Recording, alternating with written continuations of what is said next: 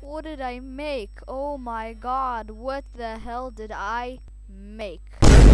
I've always been a fan of abstract and weird memes, and I also really like making games. So I decided to put one and one together. So this is the first devlog of my What the F game. Let's go ahead and start. So the game is about you being a bounty hunter, and someone stole King Sussy's crown. So he hired you to kill whoever stole the crown.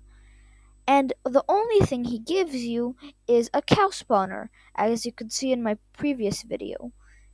So that's the story right now. So the reason I added the cow gun was because the cows were really physics based, meaning that you could use them in parkour levels and pressure plates and all of that.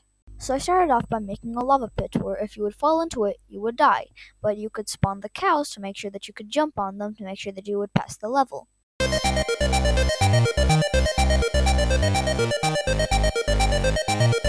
So after using a bunch of Pro Builder, I managed to make a good level.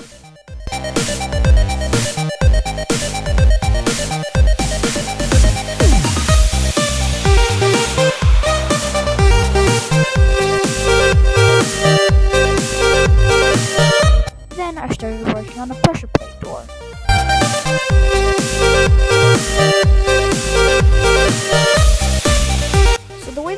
Works is that you can only put a cow on it to make sure that it opens.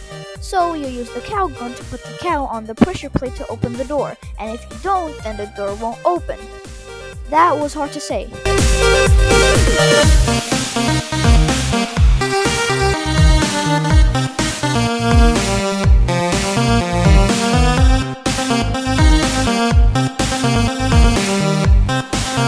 But yeah, that's it for the end of the video. I hope you enjoyed and see you next devlog.